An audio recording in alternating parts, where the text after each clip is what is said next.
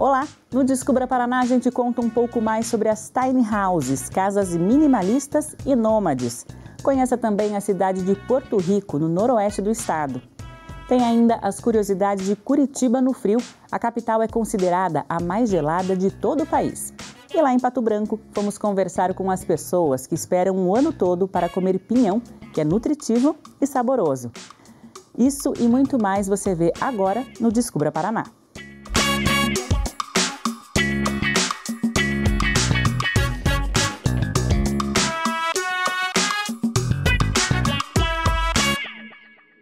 Descubra Paraná te mostra agora curiosidades da capital mais gelada do Brasil.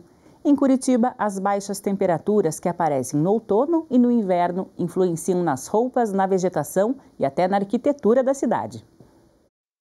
Não é à toa que Curitiba é a capital mais fria do Brasil. Durante o inverno, o verde dos parques dá lugar ao branco das geadas na estação mais gelada do ano. E haja roupa para dar conta de superar o frio. Embora não seja a cidade mais ao sul do Brasil, a altitude de 935 metros da capital é um dos fatores que fazem com que Curitiba tenha temperaturas tão baixas. A altitude, né? Quanto mais a gente mais alto for, temperatura mais baixa e essa própria contribuição da umidade, a formação de nuvens, né, a manutenção de nuvens por mais tempo que nas demais capitais. A cidade que registra facilmente temperaturas negativas durante o inverno teve que se adaptar ao frio intenso. E as características estão em todos os cantos, nas roupas, na vegetação e até mesmo na arquitetura de Curitiba. Não é difícil encontrar casas construídas com madeira e que ajudam a conservar a temperatura dentro dos imóveis diante do frio. No Horto Municipal do Guabirotuba, pequenas mudas plantadas no início do ano aguardam na estufa a estação gelada quando vão embelezar a paisagem da cidade. Tudo é preparado com bastante antecedência. Da data da semeadura até serem plantadas no jardim são 60 dias.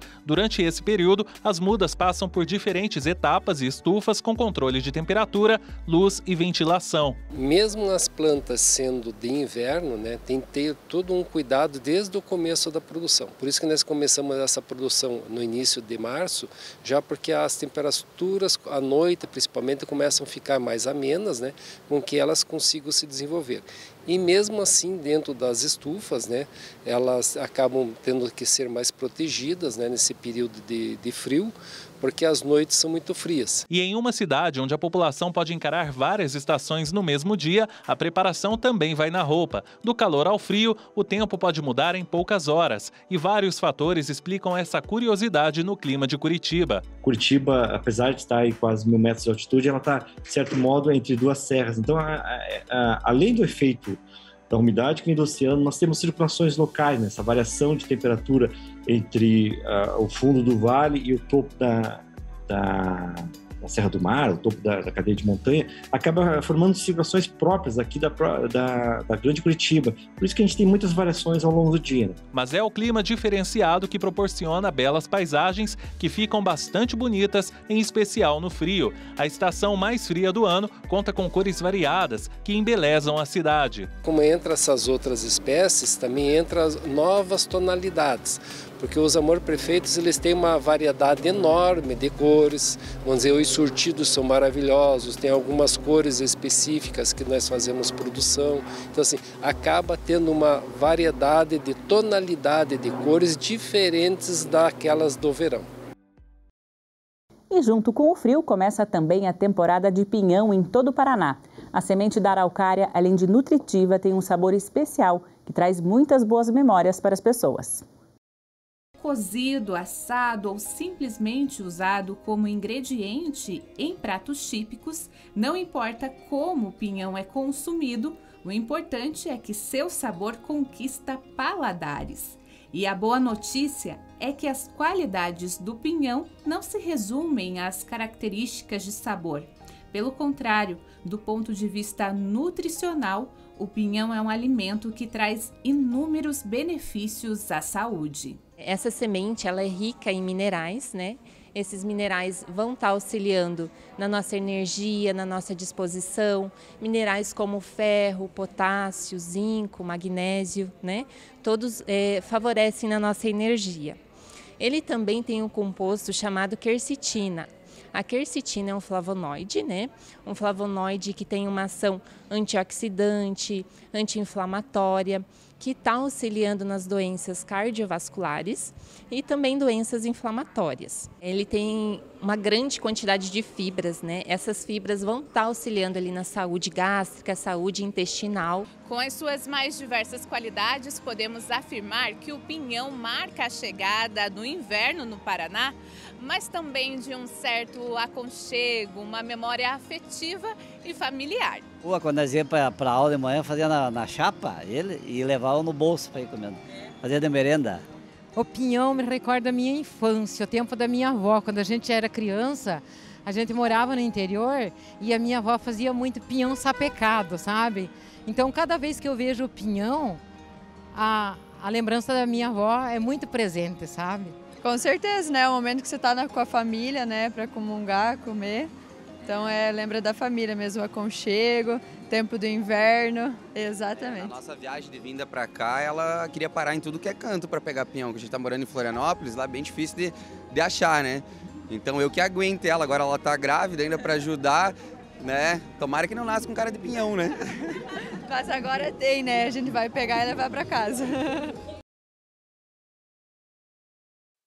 A décima edição da Expone trouxe para Curitiba colecionadores e apaixonados por ônibus. Quem foi até lá pode conferir diferentes veículos, desde os mais antigos até os de última geração. Depois de dois anos sem a realização do mais tradicional evento do transporte público no Brasil, a Expone retorna com força total para a edição 2022. A tônica do evento é o encontro e o reencontro. Então, o encontro de velhos amigos e o reencontro das pessoas com o passado delas.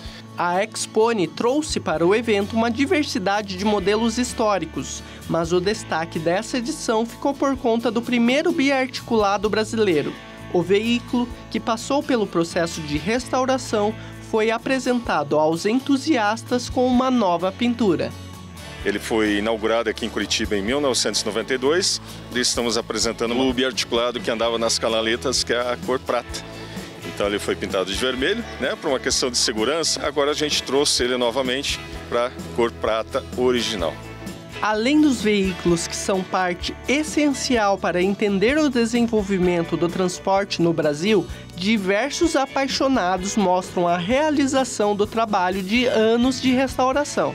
Ao longo de 2019 a gente fez todo o processo de reforma dele, né? É, usando uma pintura retrô, né, alguma coisa similar à empresa, né, com o intuito de realmente participar de eventos com eles. Os colecionadores adquirem os ônibus em leilão de empresas e restauram por conta própria, por pura paixão. Apareceu amigos, colegas que é, começaram a, a reunir forças comigo e a gente começou aí um trabalho de repintura do que ele era antes e fazer ele voltar às origens como era nos tempos de glória em meados de 1990. No pátio também havia um espaço dedicado para alguns modelos históricos de caminhões. O Ito restaurou esse modelo que lembra a infância no interior. A paixão veio de, de criança já, né? E o caminhão era o caminhão da época, né? Era o rei da estrada. 15 anos atrás aí nós começamos a restaurar e viajar, nós viajamos muito, sabe? Esse veículo era muito conhecido dos paranaenses entre a década de 70 e 80. Ele era usado como transporte público da cidade de Curitiba. Na época, os passageiros entravam pela porta traseira e saíam pela dianteira. É um ônibus que conta um pouco da história da cidade. Além dos ônibus clássicos, modelos de última geração também foram apresentados por empresas. Esse veículo, por exemplo, tem uma tecnologia dedicada à acessibilidade de cadeirantes. O ônibus não é só usado para transporte público, mas também serve para diversos serviços como saúde, policiamento e principalmente moradia, o Paulino trouxe o modelo de jardineira de 1952 para a exposição. Então ele está completando esse ano aí 70 anos de história, né? E desses 70, 10 comigo, sempre melhorando, sempre inovando alguma coisa, poder viajar com a família, participar de encontros de ônibus, encontro de motorhome, né? E também é, mostrar para as pessoas, para os mais jovens, é, um pouco da história. E entre o público que visitou a exposição haviam os busólogos. Eles reconhecem o modelo só de bater o olho, são aficionados pelos veículos e mostram todo o conhecimento quando o assunto é ônibus. Eu gosto muito dos carros da década de 80, Marco Paulo Veneza, Sanremo, Torino, é, Caio Gabriel, Amélia, da rodoviária Viagem Paradiso, Marco Paulo 3. Enfim, as nomenclaturas ali mais antigas são muitas, né? Mas eu gosto mais da década de 80 e 90, 2000 são, mais, são os que mais me fascinam, meus preferidos. Esse pessoal veio de São Paulo para conferir de perto essas raridades. São tão apaixonados pelos ônibus que trocariam qualquer carro para andar em um desses. O evento está sensacional, a gente dá parabéns aos organizadores e é bom porque além de você rever os ônibus antigos, nós estamos reencontrando vários amigos que ficamos sem ver durante a pandemia, então tá virando uma grande união de todo mundo. Pra gente que gosta, conhecer ônibus antigos, ver a história da, do transporte, ter a oportunidade de ver de perto esses veículos que muitas vezes a gente viu quando era criança ou quando a gente nem era nascido ainda. É uma comunidade bem grande essa da gente, né, que gosta de ônibus. Então é bem, bem legal isso, né? Se sente bem em casa praticamente.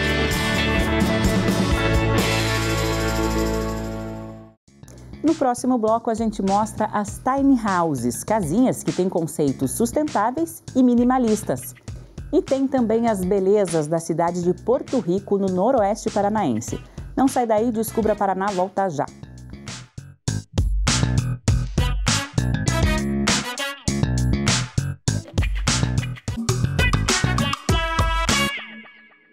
Você já ouviu falar em tiny houses? Este conceito de moradia minimalista e nômade já chegou ao nosso estado. As casinhas construídas também são pensadas para causar o menor impacto ambiental. Eu fui conhecer um reduto de tiny houses e também saber mais como elas são fabricadas. Nasce o sol, levanta que já deu de dormir.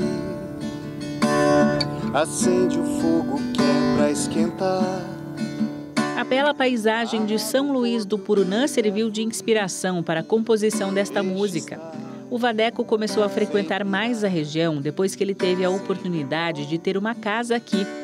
O estilo da construção também foi a realização de um sonho de toda a família. Eles escolheram pelas tiny houses, que têm conceitos minimalistas e sustentáveis.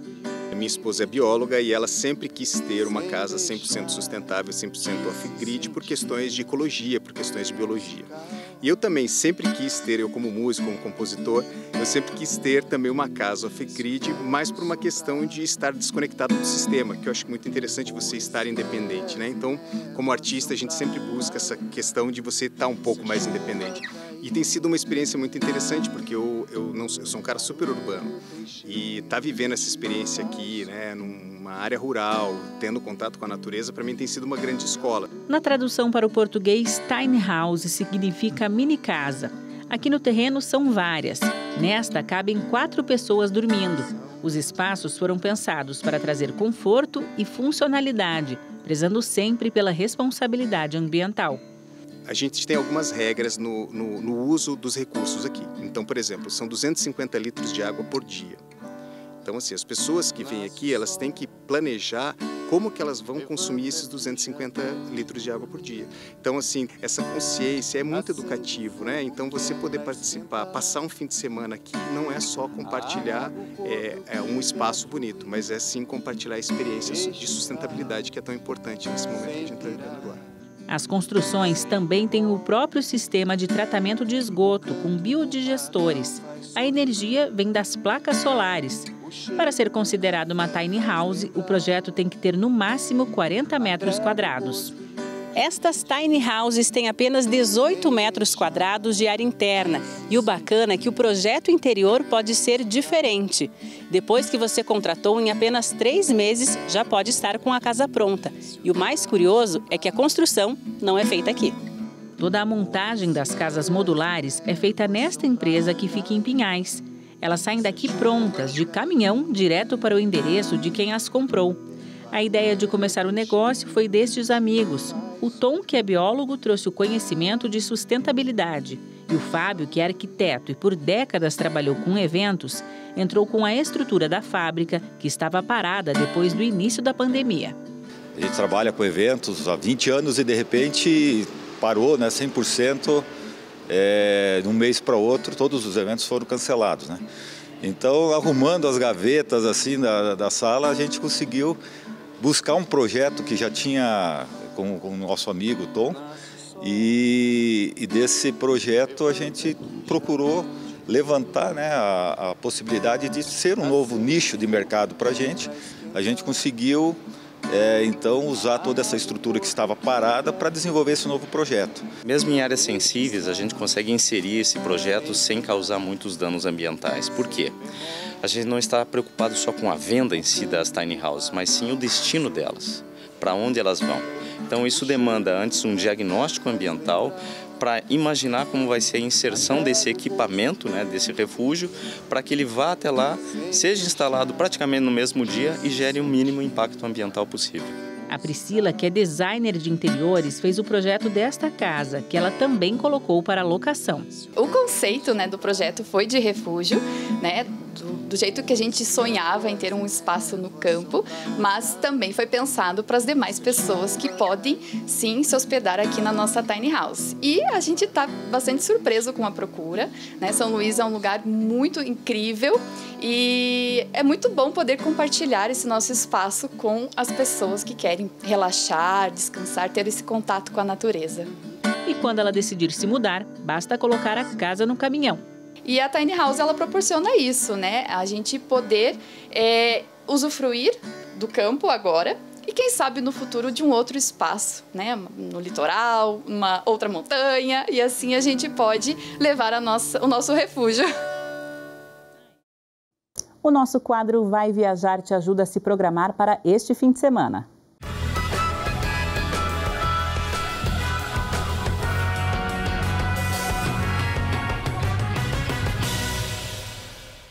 Vamos conferir as temperaturas nas principais cidades do estado. No sábado, a mínima em Curitiba é de 15 graus, com máxima de 25 graus. No domingo, a temperatura cai, com mínima de 14 e máxima de 21 graus. Em Londrina, a mínima é de 13 graus no sábado, com máxima de 28 graus. No domingo, os termômetros devem variar entre 15 e 27 graus. Maringá deve ter um fim de semana parcialmente nublado com chuva moderada. No sábado, a mínima é de 17, com máxima de 30 graus. Já no domingo, a mínima fica em 18 e a máxima de 27 graus. Em Ponta Grossa, sábado com mínima de 11 e máxima de 25 graus. Já no domingo, termômetros entre 14 e 21 graus. No oeste do Paraná, em Cascavel, a mínima é de 15 graus no sábado, com máxima de 24 graus. No domingo, os termômetros devem marcar entre 16 e 18 graus. E a nossa agenda traz dicas para você curtir os eventos em todo o Paraná nesse fim de semana.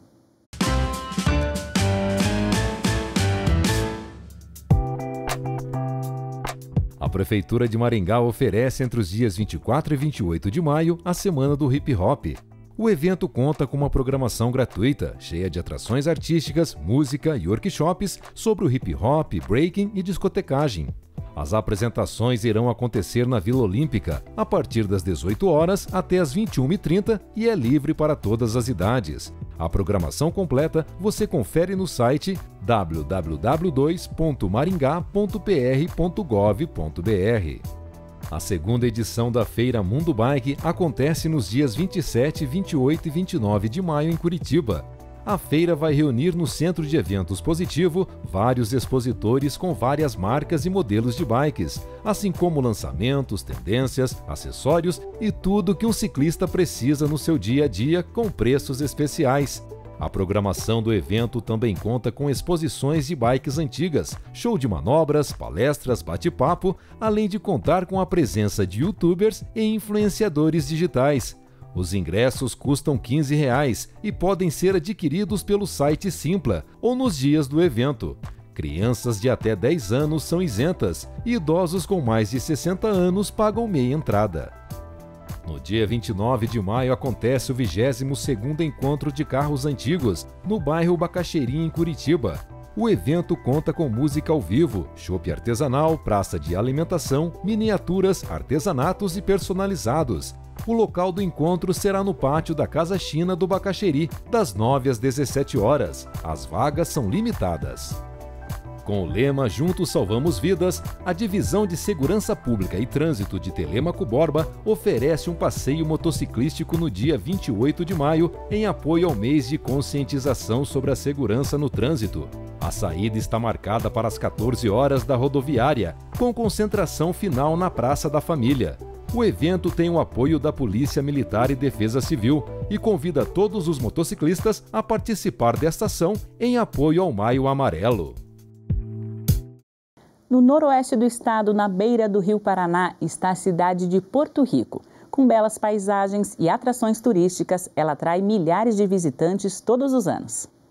Um paraíso às margens do rio Paraná, a cidade de Porto Rico, no noroeste do Paraná, tem como grande atrativo a prática de esportes aquáticos. A Praia de Santa Rosa, conhecida como Prainha, é uma das belezas naturais do município. Com boa infraestrutura para receber visitantes, a prainha é perfeita para quem gosta de água doce e transparente, areia fina e sol. Além das oito praias de água doce, Porto Rico possui um divertido parque aquático, com belas piscinas e áreas de lazer para toda a família. É uma ótima opção para quem deseja relaxar e curtir o sol com conforto e segurança. Para quem busca adrenalina e diversão, o município oferece passeios de barco e lancha, pesca esportiva e mergulhos pelas águas do Rio Paraná. Tudo isso em meio às belezas naturais da cidade. E hoje o programa já terminou, mas semana que vem nós voltamos com mais lugares para a gente explorar aqui no Descubra Paraná. Hoje eu me despeço com as imagens do frio de Curitiba. Tchau, até a próxima!